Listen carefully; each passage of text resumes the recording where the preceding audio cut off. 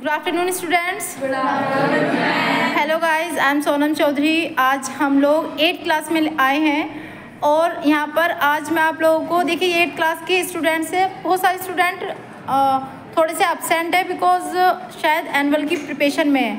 आज मैं मिलवाने वाली हूँ आपको विशाल डागर से। ये थोड़ा सा ओके सॉरी विराट डागर। ये थोड़ा सा आप लोगों को बताएँगे अपने एक्सपीरियंस जो बच्चे नाइन्थ क्लास में आने वाले हैं।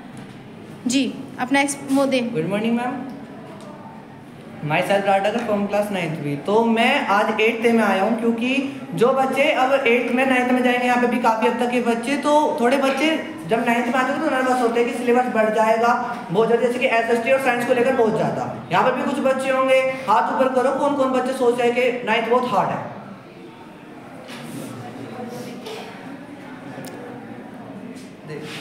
और वे बच्चे हाथ ऊपर करो जो कि नाइन्थ बहुत इजी समझ रहे हैं। बहुत इजी खड़े होकर बताते वक्त कैसे इजी समझ रहे हो? रोना काम हो जाओ। कोई बोलना चाहेगा? आपको इजी एक्साइटेड हो ना नाइन्थ क्लास में जाने के लिए? तो एक बच्चा ये बता दो कि हार्ड क्यों है? काफ़ी तक के बच्चों के हाथ ऊपर हुए थे कि हार्ड किस लिए है? कोई बोलना चाहेगा? कोई नहीं बोलेगा। देखो, कई बच्चे समझते कि नाइन्थ क्लास बहुत हार्ड है। उन्हें क्या लगता है कि सिलेबस बहुत ज़्यादा है, बहुत नर्वस है, थोड़े डरे डरे से हैं। पर लेकिन कई बच्चे सोचते बिल्कुल भी ऐसे रौनक है यहाँ उसने हाथ ऊपर तो करा। जब नाइन्थ क्लास में आओगे ना तो सब एकदम मसूल नए टीचर है, नया कोर्स है। पर लेकिन सबसे पहले तो डरना मत। देखो, एक छोटी सी स्टोरी सुनाता हूँ मैं सबसे पहले। एक गाँव था। एक गाँव में एक माजी रहती थी। बहुत हाँ एक माजी रहती थी। उनके पड़ोस में दूसरी माजी रहती थी।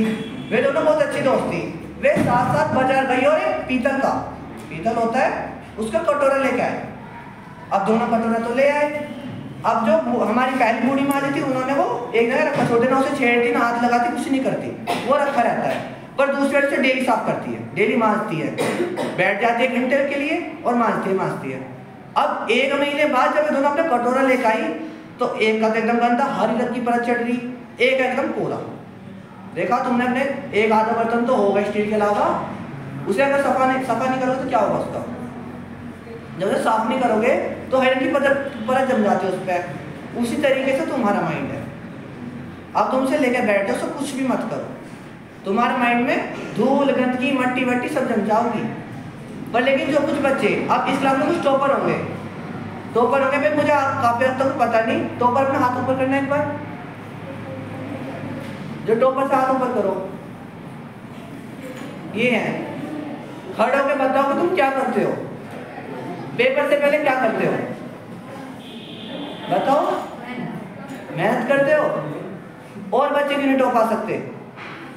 आ सकते हैं क्या और बच्चे टॉप तो ऊपर कोई अलग से नहीं निकले तो ऊपर तुम्हारे विषय में पढ़ते हैं, क्या बताओ? वहाँ पे स्वाति मैम है। अब मैम, मैं आपको बता लो क्या मैम किसी को अलग पढ़ावे किसी को पकड़ के ले जावे अलग से समझावे सब एक ही तो समझाते हैं सबके सामने बैठ के।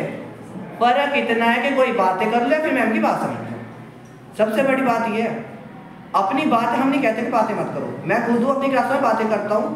एक बात ध्यान है जब तुम नाइन्थ क्लास में आओगे टी, टीचर की बात हमेशा ध्यान से समझना। तुम क्लास में गए सुबह सुबह आते कई बच्चे आते बातें करते।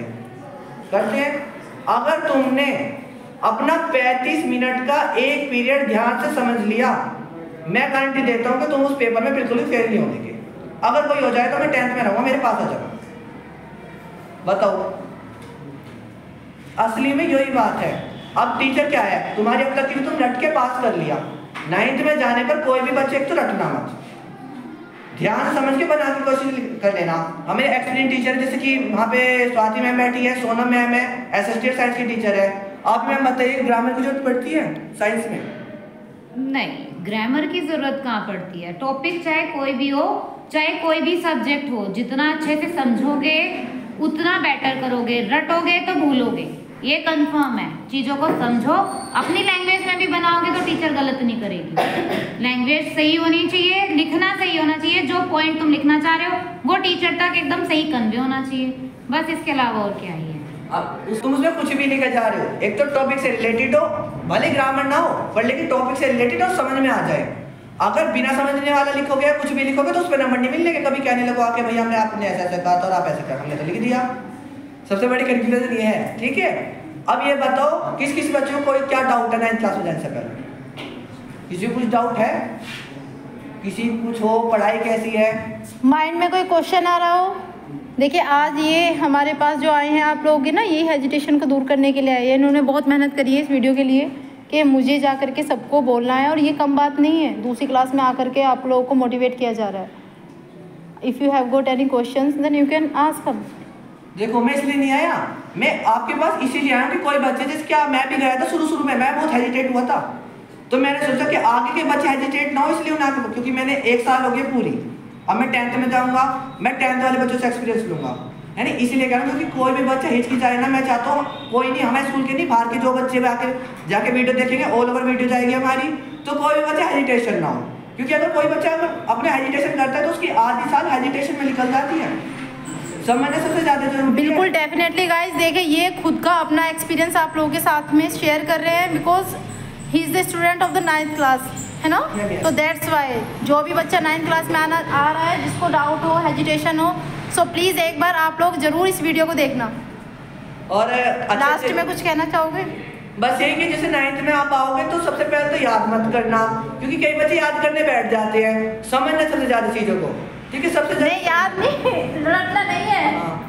और दूसरा सब बच्चे अपना ध्यान से पढ़ाई करना एन वन रहे प्रिपरेशन करो, और अच्छे अच्छे कमेंट करना, कोई भी डाउट हो कमेंट करके बताना, और लाइक करना शेयर करना सब्सक्राइब करना thank you thank you so much